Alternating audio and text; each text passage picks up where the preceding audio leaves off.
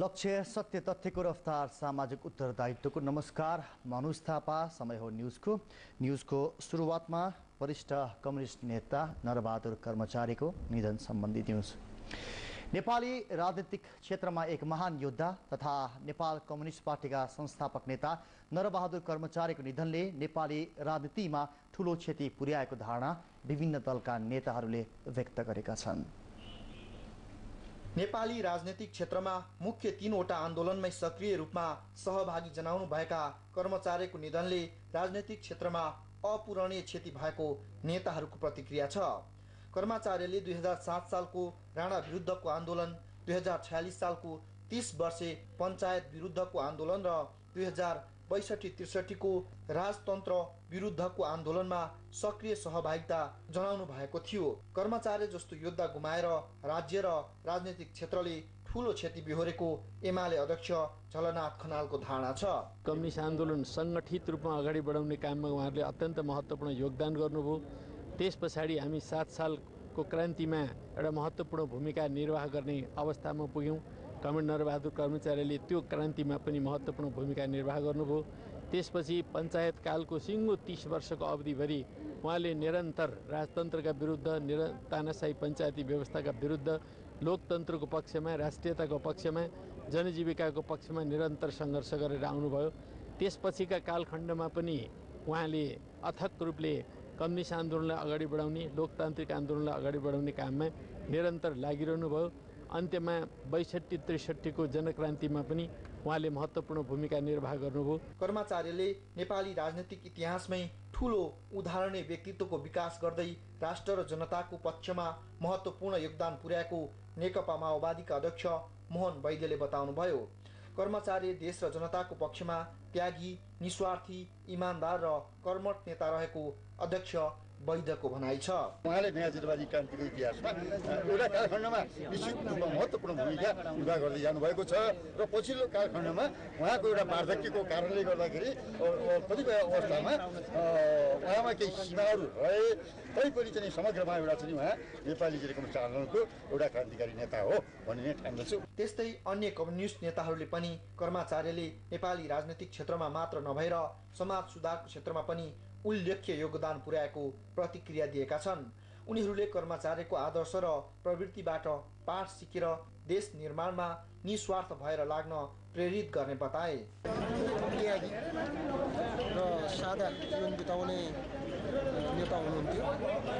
र उहाँले कहिले पनि आफ्नो व्यक्तिगत हितको लागि कोही कसैसँग त्यसरी सम्झौता गर्ने होइन झुक्ने काम गर्नु भएन र उहाँसँग मैले विगतमा लगभग दुई वर्ष जति तत्कालीन नेपाल कम्युनिस्ट पार्टी एकता केन्द्रको पोलिट ब्युरोको सदस्यको हैसियतले हामी दुवैजनाले दुई वर्षमा सहकारी पनि गऱ्यौँ र उहाँको सादा जीवन उहाँको लगनशीलता र त्यागबाट हामीले सिक्नुपर्ने धेरै कुरा छ।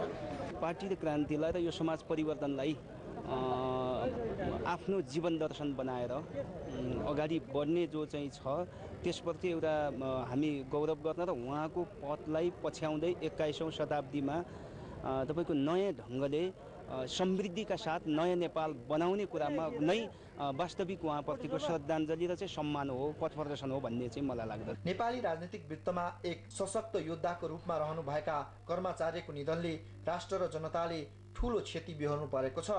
कर्मचारीको आदर्श र त्यागी व्यवहारबाट पाठ सिक्न सके उहाँप्रतिको सच्चा श्रद्धाञ्जली त्यही हुनेछ।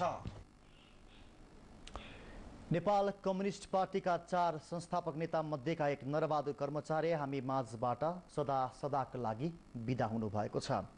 उहाँ कम्युनिस्ट पार्टीका संस्थापक मध्येका एक्ला जीवित सदस्य पनि हुनुहुन्थ्यो। उहाँको निधनसँगै कम्युनिस्ट पार्टीका पहिलो पुस्ताको अध्याय पनि समाप्त भएको छ। प्रस्तुत छ। उहाँको जीवनी सम्बन्धी न्युज ट्वेन्टी फोर टेलिभिजनले तयार पारेको यो विशेष रिपोर्ट।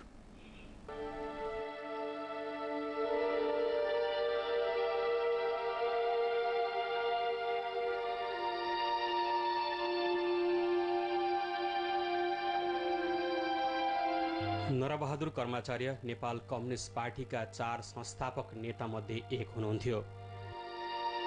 दुई हजार छ साल अर्थात् उन्नाइस सय उनपचासको अप्रेल बाइस तारिकका दिन भारतको कोलकाता सहरमा नेपाल कम्युनिस्ट पार्टीको स्थापना भएको थियो।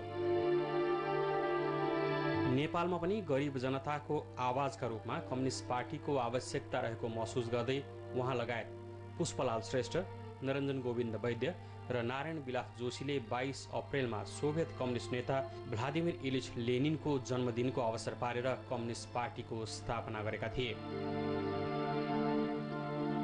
कम्युनिस्ट पार्टीका संस्थापक महासचिव पुष्पलाल श्रेष्ठ हुनुहुन्थ्यो। कम्युनिस्ट पार्टीको गठनपूर्व कर्मचार्य नेपाली प्रजातन्त्र कङ्ग्रेसका सदस्य हुनुहुन्थ्यो। सन् उन्नाइस सय सत्तालिसमा भारतको कोलकातामा मार्क्सवादी अध्ययन केन्द्रको सदस्य भए यता उहाँ कम्युनिस्ट विचारधाराबाट प्रभावित हुनुभयो। कम्युनिस्ट पार्टीको गठन पश्चात उन्नाइस सय चौवन्नमा भएको पार्टीको पहिलो महाधिवेशनबाट उहाँ पार्टी केन्द्रीय सदस्य चुनिनु भएको थियो। पार्टी केन्द्रीय सदस्य चुनिए लगत्तै कर्मचारीले कम्युनिस्ट पार्टीका अर्का एकजना सदस्य रामबहादुर श्रेष्ठका साथ अखिल नेपाल ट्रेड युनियनको प्रतिनिधिका रूपमा मे दिवसको अवसर पारेर चिनको भ्रमण गर्नुभएको थियो। कम्युनिस्ट पार्टीको चौथो महाधिवेशनपछि पार्टी विभाजित भए पश्चात उहाँ निर्मल लामा नेतृत्वको नेपाल कम्युनिस्ट पार्टी चौथो महाधिवेशनमा सामेल हुनुभयो। दुई हजार छयालिस सालको आन्दोलनपछि उहाँ नेपाल कम्युनिस्ट पार्टी एकता केन्द्रमा सामेल हुनुभयो। पछि सो पार्टी मोहन विक्रम सिंह नेतृत्वको मसालसँग एकीकरण भएर नेपाल कम्युनिस्ट पार्टी एकता केन्द्र मसाल बन्दा उहाँ पार्टीमा नै हुनुहुन्थ्यो। उहाँ पार्टीको सल्लाहकार समितिको अध्यक्ष बनाइनु भएको थियो। एकीकरणको केही समय पश्चात एकता केन्द्र मसाल दुई फ्याक हुँदा उहाँ फेरि एकता केन्द्रमा नै रहनुभयो। दुई हजार चौसठी सालको संविधान सभा चुनावमा उहाँ संयुक्त जनमोर्चा नेपालका तर्फबाट समानुपातिक तर्फका उम्मेद्वार हुनुहुन्थ्यो। संयुक्त जनमोर्चा नेपाल भूमिगत भनिएको नेपाल कम्युनिस्ट पार्टी एकता केन्द्रकै खुला मोर्चा थियो। चुनाव पश्चात एकता केन्द्रको तत्कालीन नेकपा माओवादीसँग एकीकरण भयो र नयाँ पार्टी एकीकृत नेपाल कम्युनिस्ट पार्टी माओवादी बन्यो। त्यसयता उहाँ एकीकृत नेकपा माओवादीका सल्लाहकार समितिका अध्यक्ष हुनुहुन्थ्यो।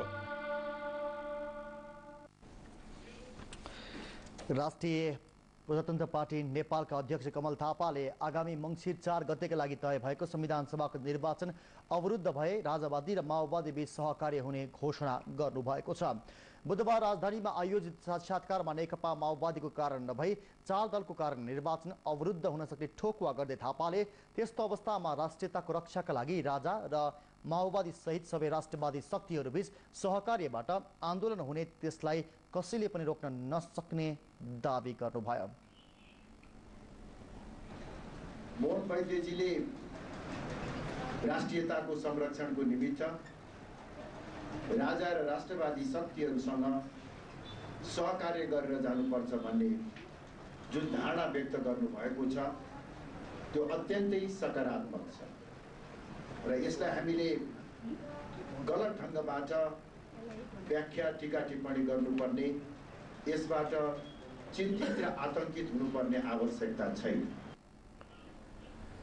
साक्षात्कारमा थापाले नेकपा माओवादीका अध्यक्ष मोहन वैद्य सचिवहरू नेत्र विक्रम चन्द्र र देव गुरुङसँग आफ्नो भेटवार्ता भएको र अहिले पनि नियमित सम्पर्क भइरहेको भन्दै मुलुकको राष्ट्रियता धरापमा परेको र रक्षाका लागि राष्ट्रवादी शक्तिहरूबीचको एकता आवश्यक रहेको पनि जिकिर गर्नुभयो।